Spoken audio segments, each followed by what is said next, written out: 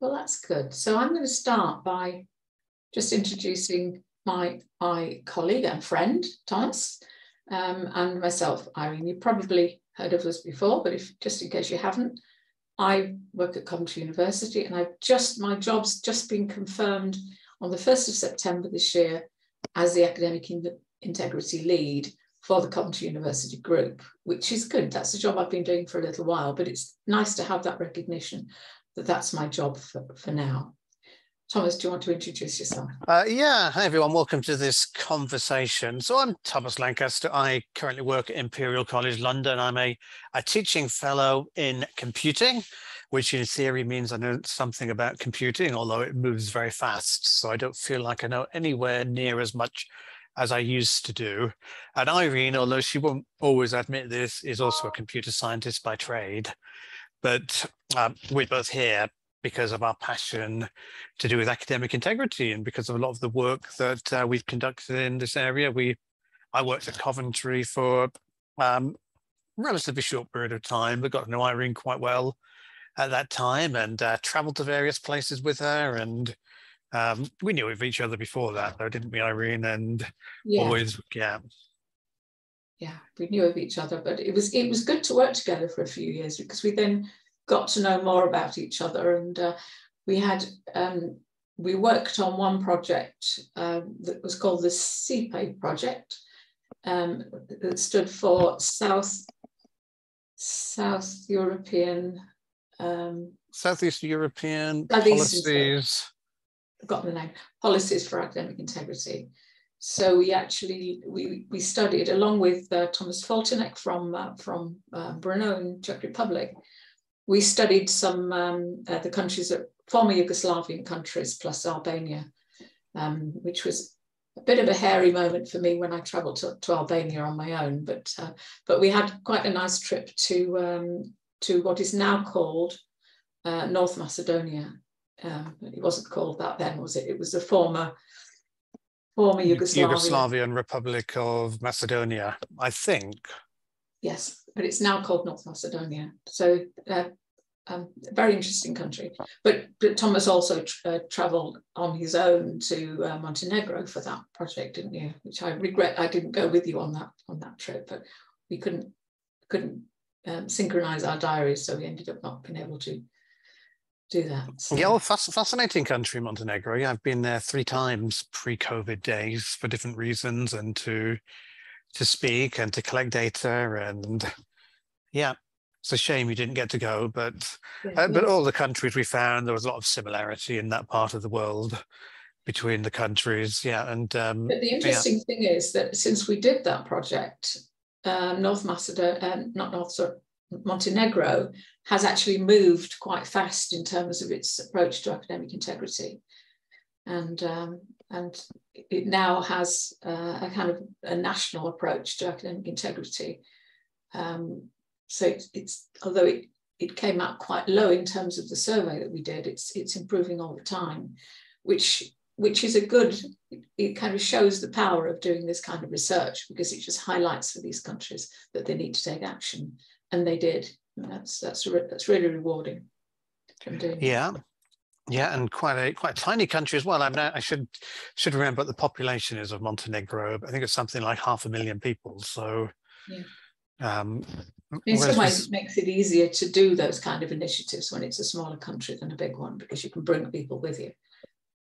Yeah, and and if I remember the initiatives, one of them was relating to laws surrounding contract cheating there. And actually, one of the first countries in a whole block which has brought in a legal approach. And many people may know me on this uh, webinar, in this discussion, that a lot of my research throughout my career is related to contract cheating and students getting somebody else to do their work for them, which is clearly not um, not an activity we would like to see in education because we want the student who does the work to be the one we assess and the one who gets the the grade at the end.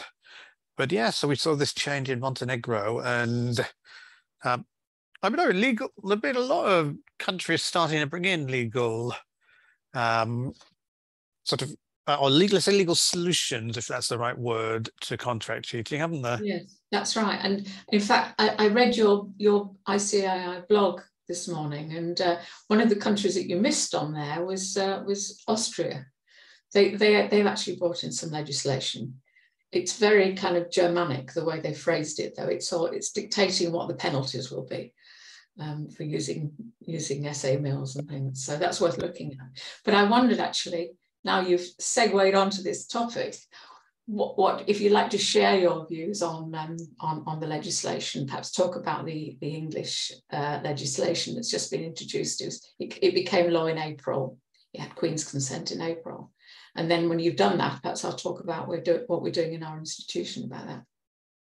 Okay, that sounds like a plan. So yes, so as Irene mentioned, I think there is a, a new blog post up on the ICAI uh, blog where I've just shared a few thoughts about uh, laws and policies surrounding academic integrity and contract cheating. By all means, check that one out. The, the posts on the blog, there's lots of them. They often appear quite slowly during that process, or, or quite quietly, that's a better word for this one here. But certainly thanks, Mary, for sharing the link as well. Uh, yeah, uh, Irene, as you said, in England, but not the whole of the United Kingdom, uh, a law was brought in earlier this year in April to essentially make the provision of contract cheating services illegal, uh, not necessarily um, being a consumer of those services. So there's no move to make it illegal for a student to use such a service, although of course the student will still be breaching the integrity rules at their own institution for that one, but very much to uh, allow us to have the power to go after the contract cheating providers, so essay mills, even individual writers who are being paid to do the work, and also the power to ban advertising in England by many of these services, because if you've not checked what a student sees on social media these days, if they have registered as part of a university, they will have very targeted advertising, which may well include adverts from firms to do their work for them. I don't tend to see that advertising myself because I'm not registered student and my social media uh, means it wouldn't be a, a, good use of the advertising budget of these firms, but the budget is out there. And uh, certainly as we're moving into face-to-face -face environments again, physical advertising is appearing as well. Now, so I think law, to answer Irene's question, has um, has a role to play in reducing the visibility of contract cheating provision, in helping us to have a discussion with students to say, you know, the service you're using or your peers are considering using um, is illegal, clearly sends a strong message out to them but I mean, at the same time, I don't think it is a sole solution to the problem.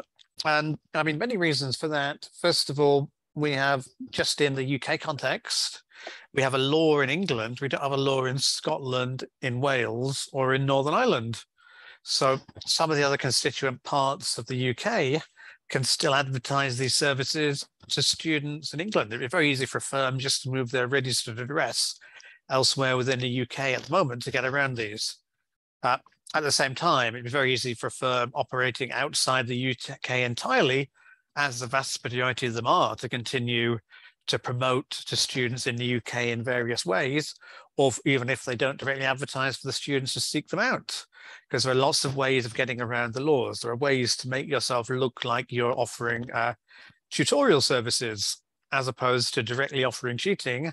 But when someone gets in contact with you, you can tell them what the real um, services you're offering. So all kinds of ways around it. And the, the other thing which does stand out to me, and people have emailed me and asked me this question, is when are we going to see a prosecution in the UK? Because there are still uh, firms that are advertising and are, are quite blatant in the space, putting up YouTube videos where they're, they're clearly in London doing them and things like that. And nobody has been been uh, in a position to take these forward. I can't take a, a, a prosecution forward personally. I'm definitely not um, anyone with a legal background.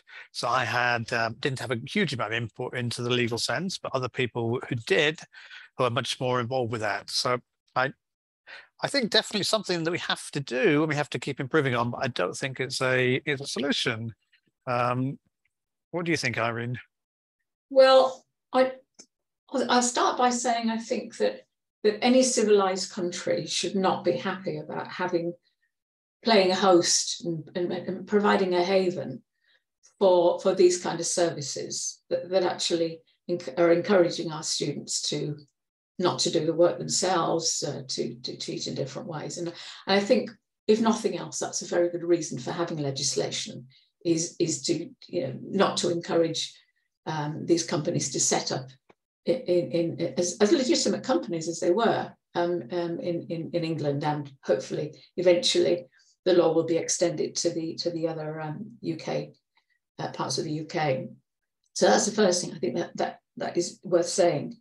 Um, and I think, it, as you said at the beginning, it's, a, it's, it's important that now we can have a sensible conversation with students, that there's a very good reason why, why these companies have been um, made illegal. And incidentally, the, the, the legislation um, doesn't intend to target um, friends and families and other students. Um, but but if if they, they are actually operating as a company, then they will come under the law. So I think that's how it's going to work. And as you say, I'm, I'm the same, I'm not legally qualified. But, but the, the legislation as it's been framed in, um, in England isn't quite right. I think the legislation, nothing wrong with the legislation, but there is no way of implementing it um, in a sensible way at the moment. So that needs to be done, that needs to be added on. In Ireland, what they did was they put QQI, the you know uh, qualifications and quality and qualifications Ireland, the, the kind of quality body, the regulator, was put in charge of dealing with all the all the cases, and um, and they've particularly been talking to the the um, um, Sue and various people from QQI. They've been pursuing advertising really rather than the companies themselves, and I think that is that is a quite a, a, an important use of legislation. Um, and I think it'll be a while before we get any any um, uh, convictions or you know any any kind of uh, um, cases going forward um, because uh, they haven't actually got a central um, body that's going to kind of coordinate cases. So the way it works at the moment is that if we find a case in Coventry, um, all the cases will come into, into a mailbox that I've set up. They'll come into my integrity threats mailbox.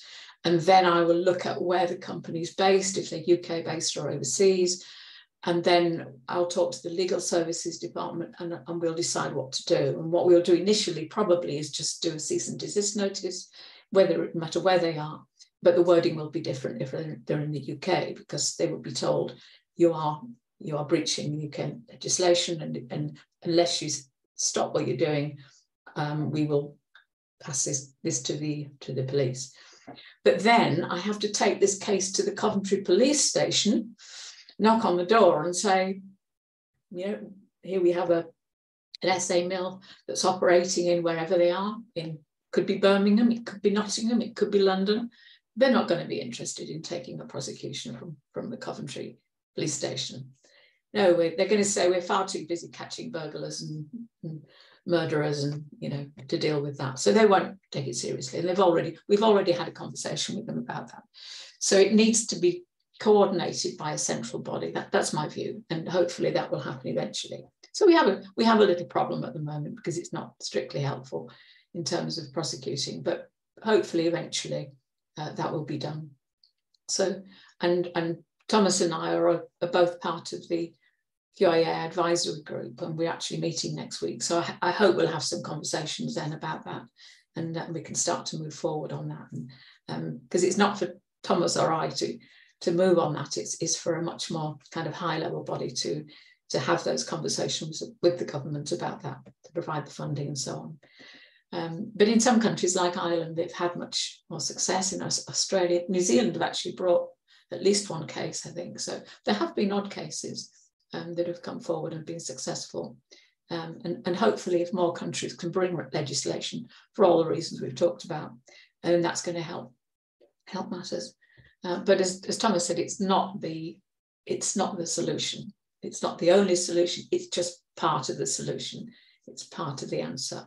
But we all need to keep on working Um, and since we've been doing these campaigns, and particularly the International Day of Action has been a really powerful um, um, body for, you know, event for, uh, for raising awareness. Since we've been doing this, I think we, we have succeeded in raising awareness all over the world.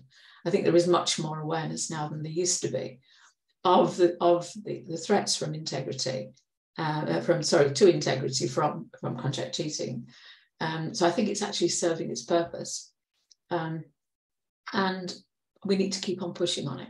But but I don't see that the the number of, of um, essay mills is going down. I, I, have got no evidence of that. And I know Thomas, you've worked a lot more looking. That's you know your your um, your own um, kind of research is very much looking at what essay mills are doing. And I don't know whether you've seen any reduction in the number of essay mills and their activities. I've certainly not seen a reduction in the number of students using them, um, quite the opposite. But maybe it's because we're getting better at catching it now. What do you think about that? Yeah, I mean, interesting question. And just for people watching this, Irene's role is very much at the top level academic integrity at Coventry and have a very good overview and leadership role in the whole process. So it's much more involved with policy development. I still work within a computing department, so I don't have that role within my own institution directly involved. So a lot of these legal type questions wouldn't wouldn't come to me in any form. But uh, I'm just going to pick on something in the chat as well. It's only been posted to hosts and panelists, but um, essentially, I think this is criminal cases wouldn't be pursued under criminal law. The CPS wouldn't proceed under a civil law. It'd be a personal challenge whereby the essay mill could wind itself up just like a dodgy builder. So yeah. I let people take that one in. I think I get the gist of it, but um, it, this is one of these challenges with law, and then law differs from country to country as well for that. But so, so yeah, so so your question really was about how many contract cheating providers or essay mills are there? And some people have tried to to get numbers. I have never tried myself. And the main reason I've never tried is because the same provider will often operate with 20 different names they they might operate with a, a, version of them aimed just at nurses or aimed just at uh, lawyers in training or whatever it might be, or they might operate aimed at different countries, which essentially is the same service, but they just have a different looking flag on the front page and they have a co.uk domain as opposed to a .eu domain for Australia if they get around the legislation there or whatever it might be. So it's, it's very hard to estimate. I'm still seeing a huge amount of visibility uh, some of the trends I've seen in recent years, though, have been things like uh, alternative ways of advertising. So I, have looked at some studies, including with students. Perhaps we'll get to that topic later on. Looking, for instance, at services advertising on Reddit. Um, and the so often direct adverts from an individual writer which can go out to lots of students through that free advertising channel and very anonymous, moving these discussions to Discord. Also, students directly posting their requests on various sites for other people to jump in and say, I will do the work for you. So not everything goes through the essay mill front end. So I think everything is there. Uh, I haven't because I sort of I know it's there and because I know there are other emerging problems as well in the academic integrity space. I haven't spent so much time directly looking at the individual sites as, as I used to, but I know that every time if I go and give a talk at a particular university and I quite often decide I'd like a local example for a talk, I can very quickly go onto one of many places I know, including classified sites as well, and just look for a university name or a city name or something else that's distinctive and find adverts relating to uh, that university. So everything is very much still there. And I mean, I mean, what about you, Irene, from the top level? Have you seen any changes in the um, uh, sort of in the number of cases that are coming to you or anything well, like that? It, it's it's an interesting question. I wish I could answer it directly, but unfortunately, until recently when I've I've kind of taken this new role on, the statistics that we've been uh, collecting have we've we've not been analysing them in sufficient detail to be able to tell. And the way people are recording cases, originally people were recording cases of contract cheating as as plagiarism, you know, and, and then others recorded them differently. So we've not had a consistent way of recording the cases.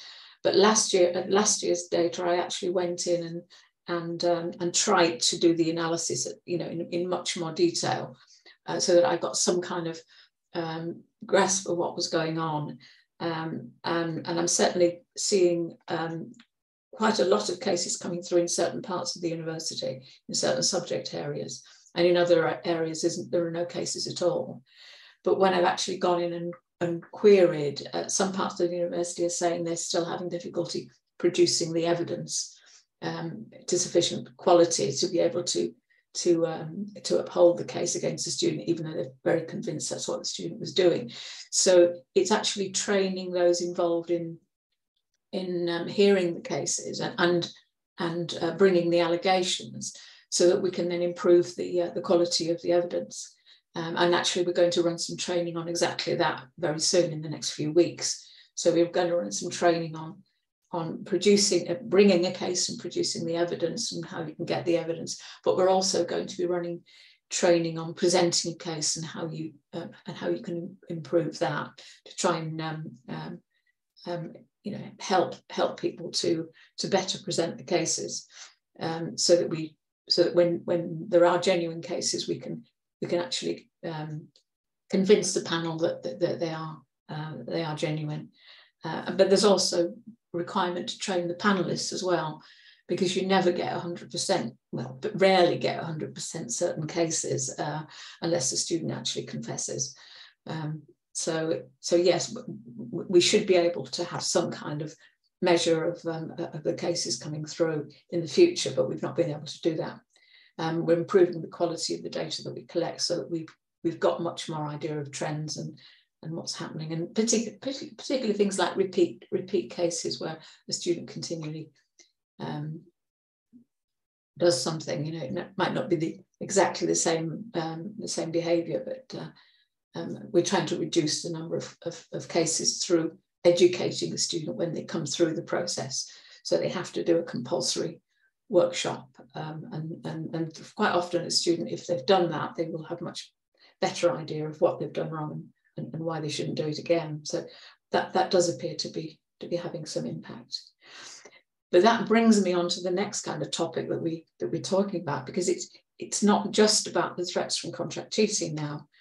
Um, there are new threats, aren't there? We're both aware of, and I know you've, Thomas, have been doing quite a few uh, webinars on this topic, and you've been looking into this topic. Um, and, and I've been, I'm, I'm leading um, a consultation in my own institution about the, um, and it's difficult to, to find the term to describe it, but it's student use of uh, of software tools generally that are that contain uh, uh, artificial intelligence, and it's it's those kind of tools, isn't it, that actually are the new threat to integrity. And certainly, the way we're dealing with it in my own institution is we are um, we first of all we've done a little bit of research and we've actually brought Thomas in to, to talk to our working group and and also um, um, our other friend Robin Robin Crockett from Northampton. You both came in and talked to my working group about this uh, to help to to set the scene for what what, it, what the threats are. And uh, and we're now going into the next stage where we're going to run some focus groups across the university to consult with staff to do two things to brief them on what we found out, but then also to collect views and ideas of which of these tools are useful under, under, and under what circumstances, and which tools should be banned. Um, and then we'll produce some guidance and, and potentially also um, tweak the regulations so that they, they, they cover any circumstances that we, um, that we come across. But uh, I've been very vague about what I mean by these tools. Perhaps, Thomas, you'd like to come in now and just say what you found out and what, what kind of tools you've been looking at and, and what they what their potential is for both as threats for the, the um, institutions, um, but also other uses for the tools. Uh, yeah, thanks, Irene. I just don't know where to start with this one. And uh, by the way, the, the, the, questions in the chat, by the way, feel free to chat amongst yourselves if you want. We'll probably, we will come back to those because there's a very interesting one in there. But as as we're thinking a bit about artificial intelligence, which perhaps is the wording that we've just completely missed in the introduction to this uh, this section of our conversation, and, and being a computer scientist, I'm automatically interested in AI, as in artificial intelligence, because my students are interested in it. And it's one of the things that we're using quite automatically. I can see we have the option of subtitles during this conversation. And somewhere there is artificial intelligence which is generating these live subtitles and a live transcript for people who want to review this. I'm sure you can turn that on somewhere in the settings for that, but the kind of technology which a few years ago we would have relied on a person doing subtitling, at least with any degree of accuracy. But hopefully now there, this is clear enough that people could follow this conversation with your sound off and um, and tell what was going on just from the subtitles and we can reuse this information. So artificial intelligence is one of these things that is just part and parcel of everyday lives for that the problem comes that uh, we're living in a world where AI has to get better. We're depending on it for the efficiency of our workforce. We are uh, preparing students to work in a world where we have AI tools to support them. But we then have a bit of a uh, an impasse that if students are using the tools that they could use legitimately in the workplace to complete their assessed work, then they're um, not necessarily completing the assignments as we originally intended them to be. And so this is really could be considered a bit of an offshoot of contract cheating. But what you can do is you can generate original text using AI tools, which you can then uh, perhaps do some light editing and some changes, but hand in as an assessment. And if the idea of the assessment was you would learn something and hand in the results of that learning and document it yourself, you've managed to bypass that whole learning process. And so this is the challenge with things, we'll call them, for instance, essay bots or automatic writing technologies, all kinds of different wording out there, very powerful. And I don't want to go into a big discussion about AI and machine learning and how it all works, because that will probably bore everyone completely stupid, but essentially, uh, there are large models. Perhaps the most famous one is one called GPT-3, released by a company called OpenAI. It's a commercial model, has uh, be, been trained on thousands and thousands of words of English language and other languages. And so it has learned the patterns of words and how to recreate text in a similar format with uh, perhaps similar meaning but not using the identical word sequences. So if we run this text through Turnitin, we don't very often get an exact match when it's generated. And uh, if anyone follows me on Twitter, I occasionally post some of the things that I've been experimenting with and working on. And um, there is a, a, webinar I gave a month or so ago for the European Network of Academic Integrity, which is up on uh, their YouTube channel as well about this. But you can see the quality of the text for that that is generated. It's um, it's not brilliant, but in my mind, it's quite often just as good as a student would get by paying a contract cheater provider who is trying to turn out three or four essays a day because they're paid by the word. And so it isn't always um, going to raise that much suspicion there. So we have this concerning situation that most universities are completely unaware of. Uh, now, as well as generating text, you can, if you're a computer scientist like me, you can go straight to the underlying model, the underlying data, and do some really useful things with it. But you don't need a great deal of sophistication because there are services that now package this up in an easy to use form for, um, let's say for students, but for anyone who wants to generate text as part of this process. So we're seeing the, the generation of text, you can also see the generation of computer programming of source code there. almost quite surprisingly, I just talked about this model for generating text. The same model can also be used for generating source code. And that almost came about as a surprise because when this model was learning how to deal with text, it must have just had lots of examples of source code in the dataset there. And then the other bit, which is the one that um, I mean, I find most fascinating in many ways, is generating digital images. Some people would call these art. Some people would call these the equivalent to things like fake photographs. You can get very realistic looking human faces of people who don't exist there. You can get people in situations you wouldn't expect. Um, I have also with my computer science um, hat on, I've, I've sort of amended one of the models so it can generate pictures of me or at least which look vaguely like me and, and capture the essence of me. Particularly if I want a cartoon rather than a photo, I can get something that's quite a good caricature or very reminiscent there. I, I can't do Irene because it would take um, me running various things for about an hour and getting quite a decent number of photos of you, but it would be would be quite possible. And I want to think because we're all probably in here a bit interested in ethics as well, about the ethical challenges of this type of technology and think about how this can be used for such things as to spread misinformation, for fake news, can be used for conspiracy theories. And so there's some quite dangerous technology, which in many ways fascinates me that it's there, but in many other ways means we have to reconsider a lot of our um, how we teach students, how we prepare them for the future as well, how we prepare them for their jobs that might use this technology and the type of assessments that we think are, are useful. Yeah. So mm. Irene, I know you've been, um, as you say, you've been sort of leading some work at Coventry about this as well. And I mean, I did meet with with your colleagues in the working group earlier in this in the year, but this has moved on so quickly, even since that time period. But am I right in thinking now that you've started to see work from students produced using AI tools? Yes, interestingly, uh, we we had um, because we we didn't one of the things we want to do in terms of the guidance is provide guidance for for staff on how to detect it um, and and how you know what kind of characteristics generated uh, work will will have um, and and and there was a case came up um, um, last week um, which I can tell I'll tell you about in a minute. But before I say that, the, the, there are more there are less innocuous tools than than um, than essay bots because we are also looking at um, the kind of grey areas of when you would allow a student to use paraphrasing tools, for example, you know, under what circumstances would that would that be appropriate? When would you allow a student to to use translation tools?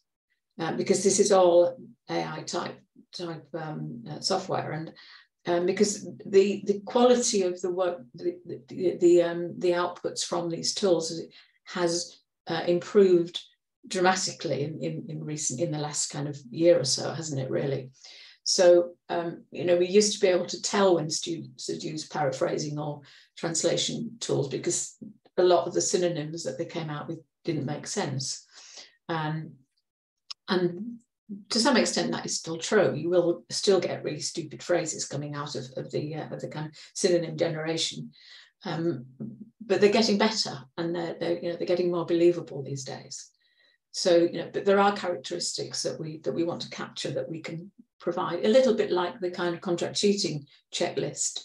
We'll have a checklist for um, for kind of um, artificial intelligence generated um, um, outputs and things. So it, those kind of things. If anybody wants to work with us on that, it, it, it, it'll be a really interesting project and uh, you know to, to actually try and collect some of those those characteristics. But you know we, we're aware of some already but you know i'm sure there are the more we look at them the, the more we'll find.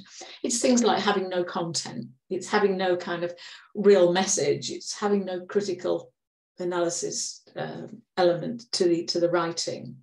Um, but we've also come across some where the uh, the artificial intelligence realized it needed a reference, so it completely invented one. Um, you know, so it's not a real reference, or it, or it uses a reference that's only tangentially associated with what, what you're writing. So these are the things things to look for. Um, very rep repetitious. Those are the kind of things things to look for. but I'll, I'll, I'll, tell you now about the example that we found. So um, we, we didn't actually find it as, a, as an, an, example of this at all, because what happened was it was, a, it was very astute of the, of the tutor to find it because it was a very big module with lots and lots of students in, on this module with multiple markers. But there was um, a clue on turn Turnitin that, that it pointed to another student's work on one of the students' work. And so this uh, tutor did some sleuthing, all manual, and, and got and found there were three students that handed in a very similar piece of work. In this case, you know, we would, um, I've just answered a question in the chat about the quality of the assessment. In this case, it, it was what, what, you would term an authentic assessment because the students had been told to write about a, a bit of um, practice that they've done um, in terms of, um, of their, their, you know, their, their, it was a workplace um, piece of um, uh, experience from the workplace.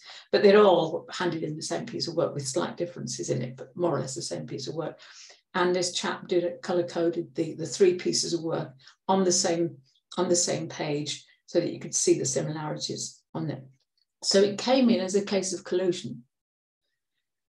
And the only reason we know it wasn't that it, that it was um, an essay bot is that one of the students uh, at the end of the, the kind of conversations um, in the in the hearing um, uh, said, well, I, I used something, I normally use Grammarly, but I actually went in and used Quillbot. Um, and this time, so maybe that was what the problem was. So she'd used Quillbot, which is a, it, it, it does paraphrasing, but it also is an essay bot. So, um, and, and I think in this case, we haven't got to the bottom of whether they, whether Quillbot actually generated all the text or whether or whether um, one of the students wrote it and then they used paraphrasing to make them slightly different.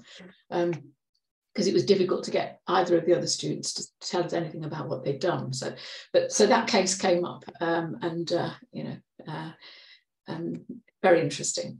Uh, so we're running out of time now. We've got about five minutes left, I think now. So, um, do you want to have a look at perhaps some questions in the in the yeah, chat. I mean, a few things I'd like just to quickly pick up on because it's amazing how quickly this time runs. Absolutely, because we, we only allowed 45 minutes for this, so yeah. before the next. So, so get a break before the next session. Yeah. But yeah, I mean, it's interesting because Mary, who I think is leading the next session anyway at three o'clock, posted in about students citing custom writing sites in their work there. And a lot of this is just what you said about sites like Quillbot, which are presenting themselves to students as being relatively legitimate. So a student has a reason to, to use them. I, for instance, have, have seen examples of uh, services which are now releasing textbooks on how to write essays, but you can see the branding is from a, an essay mill, uh, or they're offering services to help you to uh, create um, citations correctly by putting in the details. But of course, you're then giving your information available to be marketed to. And we're going to see much more of um, the, the, border between legitimate and illegitimate services, that border get fuzzier particularly with things like either paraphrasing tools or AI writing tools, when we have things like Word and add some of that technology to help you to improve your sentence structure as you write, which is like the next generation of grammar checkers. So we have to just just be aware of these things as well, that they're changing there. Um, I mean, there's a comment which only came to the hosts and panelists as well about AI tools are going to be used a lot for the creative industries and marketing and universities behind the curve on this. Yeah, I mean, very much so. I've started to use some AI generated graphics in some of my presentations when I can't find a graphic that is quite how I want. And I know I'm not going to accidentally be taking copyrighted work. But at the same time, for artists, a lot of what we need to teach artists is going to be how to work with this technology that you can still use this as a basis. You can use this perhaps for idea generation, but um, not to replace human generated art, which is always going to have value. But it does mean that some previous skills are going to be devalued there as well. So they're just a couple of things that I'd like to um, to pick up on, and a few more uh, comments about law, which I think that'd be worth a whole chat in its own right, but with some slightly different participants involved. Yeah. yeah. For that. Yes, um, certainly, certainly experts on law would, you know, we should we should have Michael here if we were going to have a conversation on law. He'd, he'd uh, he could easily fill an hour on his own. Yeah, um, yes, he could, but he wouldn't need either of us. That's Professor Michael Draper, who we both think very highly of, but being from a law background, knows how to fill a conversation. And, and also, he, he he was involved in um, in framing the the UK legislation, so he's uh, you know he, he knows quite a lot about how it was designed to work and so on. But um, yeah, so that that conversation about the world of work and so is really important, isn't it? And that, but that's also about why we can't just ban these tools because they are actually useful. And it was the English um, English for academic purposes people that came and said, don't ban translation tools, don't ban paraphrasing tools. They actually do help in the right context. They helped to um, um, help students to learn how to write um, English, but they need to be be um, used in a kind of controlled way rather than just just used for for um, for everything. So uh, and, and what we wouldn't want to happen is is a and this we know students do this is for say a Chinese student to write in Chinese and then just translate it into English because they're getting an English language degree which which says I have I have done my work in English therefore I'm proficient in English um, and and that's sort of um, that's negating those, that that message about their English qualification. So it, it's really important that these that these uh, tools are used in the right way in the right context. But we don't want to ban them altogether. But we need to find out what the exceptions are and when they should be used.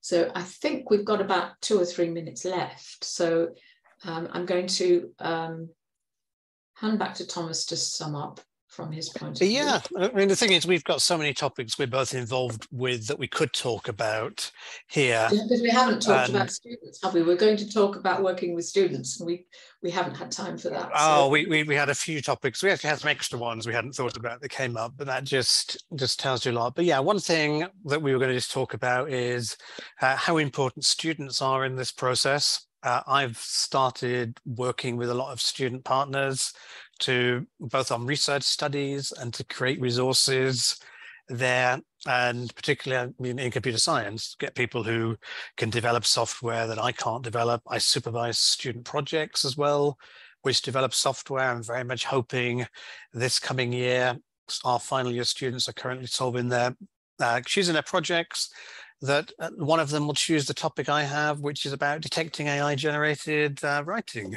So I'll wait and see what the updates are on that one. But students can do so much with.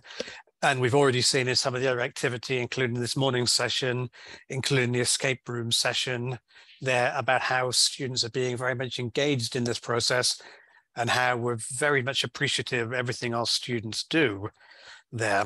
Um, yeah, I mean, Irene, any any quick thoughts about our students? Yeah, I, I I always value working with students and, um, and on, on, everything I do, I always consult students and make sure students are, are co-creators and in, involved in the process if possible. So I, I encourage everyone. I'm, I'm, sure most of people, most, most of the people in this call normally do that anyway, because in some ways we're preaching to the converted in these kind of talks because people that engage with, with these webinars are generally people who are switched on to know what the problems are. But I, would just like to thank everybody for uh, for all the really fantastic questions. Sorry if we missed any that we, we didn't kind of respond to.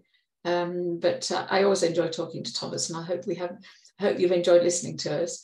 And thanks to the ICAI for uh, for hosting these these webinars and for for organising the day. It's been good. Yeah, thanks, Irene. I mean, this is just like the conversations we have normally. The only difference is the uh, there was probably less of a bar involved in in, in the the in-person conversation. But hopefully, you found something useful. The recording of this will be available on YouTube, and do come back at 3 p.m. about 15 minutes UK time when we've got uh, Mary Davis from Oxford Brookes is leading a roundtable discussion with both faculty and students about a lot of the activity going around the world. And I can see several of the participants here attending. So hopefully you enjoy that because there's so much great work going on around the world that we just don't hear about. And this is the opportunity. So, so thanks so much, everyone. Okay, bye then.